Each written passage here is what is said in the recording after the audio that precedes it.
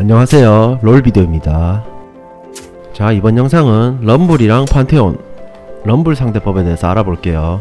이게 리메이크 전에는 판테온이 뭐 럼블을 상대로 만나면은 뭐 거의 dodge 해라 정도의 이제 카운터 수준이었는데 이제 뭐 판테온이 리메이크 되고 난 후로부터는 럼블을 상대하기가 엄청 쉬워졌어요. 저도 이제 처음 럼블을 만나서 이 영상을 찍었는데 엄청 쉽더라고요 어쩔 수 없군. 자 럼블이 이런 식으로 작사를 먼저 찍었죠.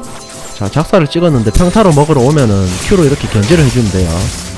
자 여기서 라인을 이렇게 유지를 하면서 선 2랩을 찍어주는 게 중요합니다. 자 럼블 쪽으로 라인이 당겨져 있으면은 딜교 하기가 힘들어져요. 그래서 라인을 유지해주는 게 좋다고 하고 그리고 또 선 2렙을 찍은 상태에서 선 2렙을 찍었다고 바로 딜교 하기보다는 이제 5stack을 쌓고 딜교를 하면 무조건 이득이죠 자 5stack 쌓였습니다 지금. 자 W 평 그 다음에 이 앞moving 쳐주면서 이렇게 공격해주는 게 중요해요. 앞moving 쳤을 때 또 5stack이 되면 은 그때 Q를 날려주고 이런 식으로 해주면 딜교 완전 이득이죠. 자 이제 dive를 넣을 생각이고요. 자 dive를 넣을 때 럼블이 지금 반피 가까이 되기 때문에 그 전에 한번 때려줘야 되는 상황이죠. 자 이제 지금 때렸죠 이러면 이제 럼블 입장에서는 라인을 버리거나 받아 먹으면서 죽거나 둘 중 하나죠. 자 3렙에 이제 dive 들어갑니다.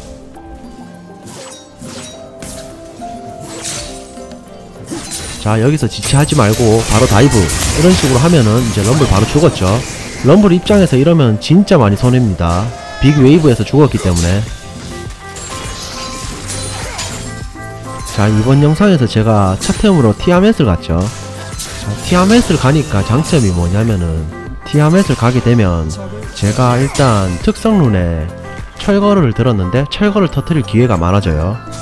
그리고 또 판테온이 콤보를 넣을 때도 이제 티아멧을 터트리면서 콤보를 넣게 되면은 딜면으로 아무래도 더 높게 뜨죠.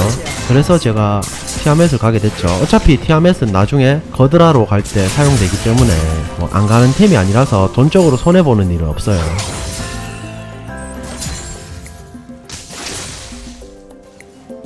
자 이런 식으로 딜교를 할 때는 5스택 W 쓰고 안무빙 치면서 평타 평타 Q 이렇게 해주면은 이제 럼블 피가 반 이상 따르죠. 진짜 리메이크 전에 판테온일 때는 진짜 헬이었는데 라인전이. 리메이크 되고 나서부터는 진짜 판테온으로 럼블 상대하기 진짜 쉬워졌어요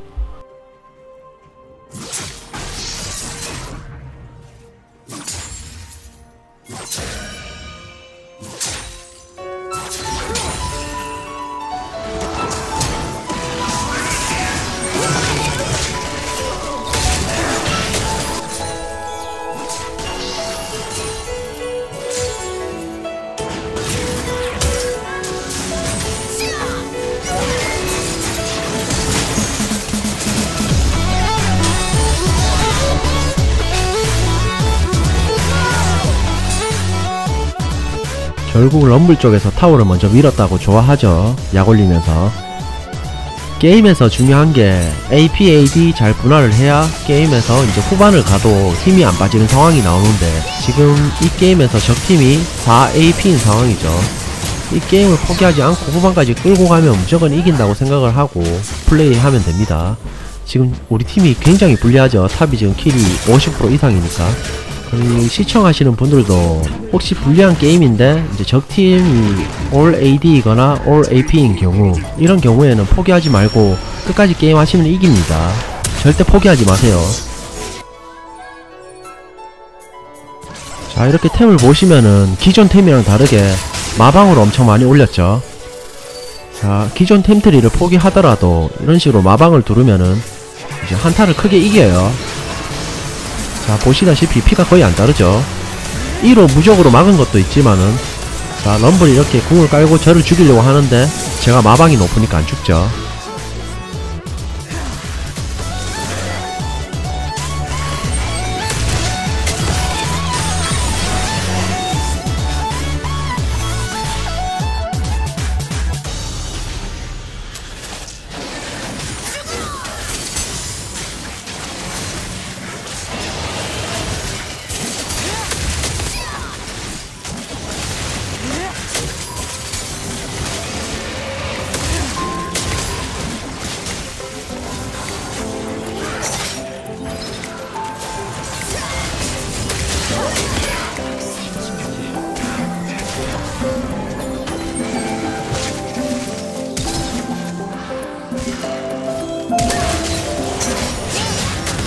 자 결국에는 저희가 이겼죠.